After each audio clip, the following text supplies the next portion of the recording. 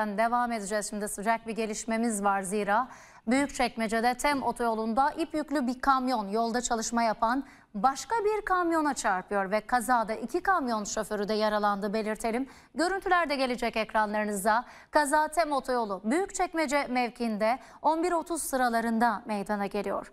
Ankara istikametine doğru seyir halinde olan ip yüklü bir kamyon şoförü direksiyon hakimiyetini kaybetti ve karşı şeride geçti. Karayolları Genel Müdürlüğü'ne ait yolda çalışma yapan başka bir kamyona çarptı. Kazada bir kamyon şoförü araçta sıkışıp kaldı. İşte görüyorsunuz o görüntüleri arkadaşları ve gelen ekipler kazada e, araçta sıkışan kişiyi kurtarmak için bir yandan çalışmalarını sürdürdü. Çünkü dediğimiz gibi olduğu bölgeden çıkması oldukça güçtü ama ekipler e, yardım etti ve kazadan e, yaralı olarak çıkarıldı e, o kişi.